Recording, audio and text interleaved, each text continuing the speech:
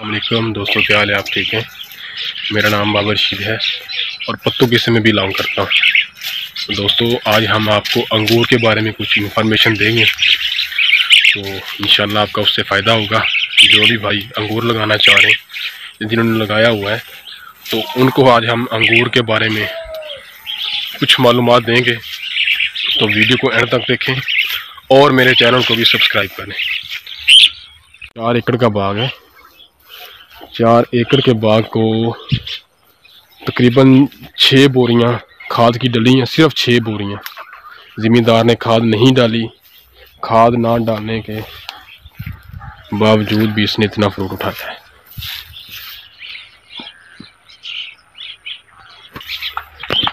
और कोई से स्प्रे नहीं की गई।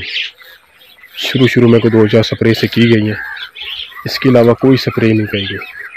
है जी लाइन से लाइन का फासला आठ फिट और पौधे से पौधे का फासला छः फिट है। और जो पिलर से पिलर का फासला है, वो पंद्रह फिट है। पंद्रह फिट के फासले पर पिलर लगा हुआ है और आठ सौ, तकरीबन साढ़े आठ सौ पौधा जो एक एकड़ में लगा है। ठीक है जी? चार एकड़ पर मुश्तमिल बाग है। अब बहुत से भाई हैं जो जिन्हें परेशानी का सामना करना पड़ता है। वो कहते हैं, कुछ कहते हैं कि जी फ्रूट नहीं आता पंजाब में, कुछ कहते हैं कि जी फ्रूट उठाता नहीं है। कुछ कहते हैं जी, ये कामयाब नहीं है। तो जो भी मेरा तजर्बा है, उस लिहाज से मैं आपको बताऊँगा कि अंगूर को किस तरह संभालें तो उस पर जो फ्रूट है वो ठीक आएगा। दोस्तों, सबसे जो पहली बात है, इसकी कटाई। ठीक है जी। सबसे पहली बात हुई कटाई नहीं वैरायटी कि वैरायटी कौन सी लगाएँ? वैरायटी आप जो भी लगाएँ फ्रूट देगी इन अच्छा फ्रूट देगी।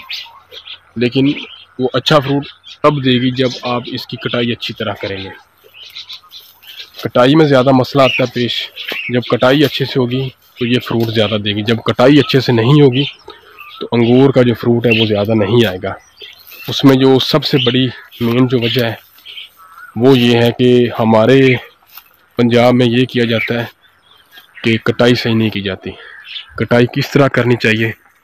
ये जो पुरानी टहनियाँ हैं, ये जो टहनी आप देख रहे हैं, इन्हें काट देना चाहिए। ये फ्रूट नहीं लेती। ये किसी काम की नहीं है, आप ये देख सकते हैं। कोई इसने एक भी गुच्छा नहीं उठाया। ये जो गुच्छे हैं, ये जो टहनियाँ हैं, ये नई टहनी है। ये आप देख सकते हैं, हरी टहनी है ये। इस साल इसको आप छोड़ें जब अगला सीज़न आएगा, अगला साल आएगा, ये टैनी फ्रूट उठाएगी, ये टैनी फ्रूट नहीं उठाएगी। लिहाजा आप इसको काट दें, इस टैनी को छोड़ दें। जब ये टैनी छोड़ेंगे आप, इस पर जो फ्रूट आएगा, वो कुछ इस तरह का होगा। ये आप देख लें, ये नई टैनी तो छोड़ी गई है तो इस पर आप फ्रूट देख लें। और अभी मैं आपको पुरानी टैनी दिखाता हूँ। ये पुरानी टैनी है, ठीक है जी। इसने एक भी गुच्छा नहीं उठाया, ठीक है। और जो नई टहनी है, ये नई टहनी है, बारीक टहनी है, इस पर आप फ्रूट देख लें। माशाल्लाह, एक एक केजी का जो गुच्छा लगा हुआ है।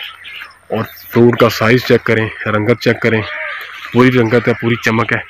गर्मी की वजह से ये जल्दी पक जाता है और मार्केट में पहले आ जाता है। जिसकी वजह से हमें रेट अच्छा मिल जाता है। तो जो भी दोस्त इसके पौधे लगाना चाहते हैं, वो हमसे रबता करें, पौधे भी हमसे लें। लगवाई भी हमसे करवाएँ इन मशवरा भी हम और इन कामयाब होंगे। जब बाग फ्रूट नहीं उठाएगा, वजह सिर्फ़ कटाई की होगी, उसकी कटाई ठीक नहीं हुई।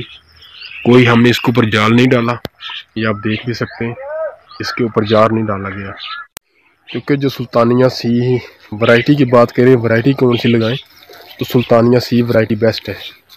इसका साइज़ भी ठीक है ये आप देख सकते हैं साइज़ भी ठीक है और वज़न भी अच्छा करता है। दूसरा